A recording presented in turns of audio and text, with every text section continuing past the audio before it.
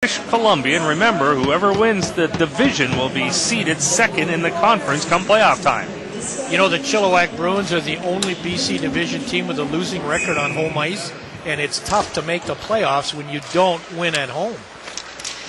We got a scrap breaking out on the whistle. Persley and Heffley.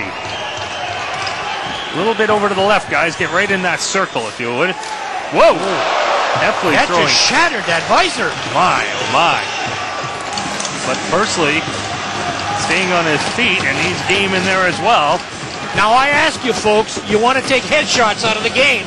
How are these two guys doing at taking headshots out of the game? Brendan Persley now getting a few into the head area. By the way, he is from Kelowna, the Chilliwack player is. And Heffley is from Swift Current, Wow, this is a great scrap, folks. one of the better ones. Wow, And these is kids will not go down. So the linesmen say, that's good, you guys. absolutely, folks, absolutely. My goodness. How's the hands? You know, I love Darren Kruger. He's the toughest guy in the Western Hockey League, arguably, for the Spokane Chiefs. Had more fights than anybody, Dan. You know how he determines whether he's won a fight or not? How's that? He says, if my hands hurt more than my face, I've won the fight.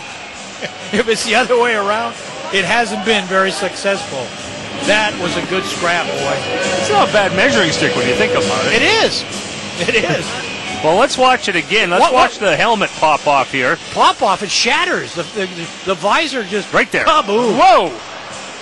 There's one that you don't see very often at any level. Here it is again. There. Boom! My goodness. And I don't know. I mean, we, we don't advocate this kind of stuff making plays of the week, but that would be a candidate for me.